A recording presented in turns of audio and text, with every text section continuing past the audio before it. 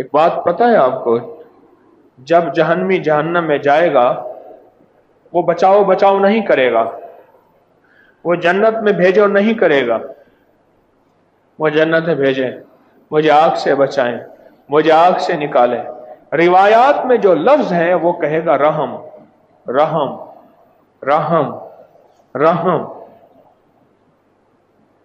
आज भी रहम मांगने वाले को रहम मिल जाता है। रब फिर वरहम व अंत खैरुल राहिमीन। जादू का जहन्नुम है, जिन्नात का जहन्नुम है, घर की मुसीबतें, परेशानी, उलझनों का जहन्नुम है, कर्जों का जहन्नुम है, मुश्किलात का जहन्नुम, मसाइल का जहन्नुम, उलझनों का जहन्नुम, ये जहन्नुम है सारे के सारे। ये सारे जहन्नुम हैं। एक चीज़ अजीब है कि कहता है, रब फिर वरहम वन तखैर राहिमी और ये इस्तफार भी है। जिस अमल से पहले या बाद में इस्तफार किया जाए, अल्लाह उस अमल की कबूलियत को बहुत ज़्यादा बेहतर कर देते हैं।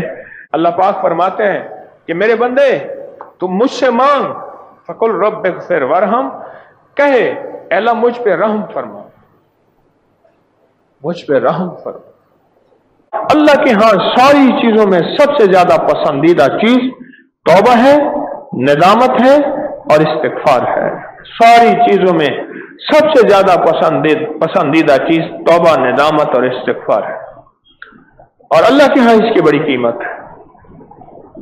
यहाँ तक फरमाए कि जन्नती जन्नत में जब चले जाएँगे तो अल्लाह पाक के यहाँ फरिश्ते कहेंगे, या अल्लाह, अभी तो जन्नत का एक हिस्सा नहीं भरा। तो अल्लाह पाक फरमाएँगे अच्छा ऐसी मखलूक जिसने नदामत और और तौबा की थी, उनको ले आओ और जन्नत में बसा दो।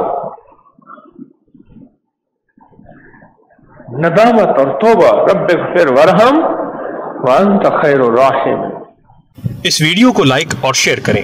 अब करें यूट्यूब चैनल को ज़रूर सब्सक्राइब करें और बेल आइकन पर भी क्लिक करना ना भूलें ताकि चैनल पर आने वाली हर वीडियो आपको फ़ौरन मिल सके।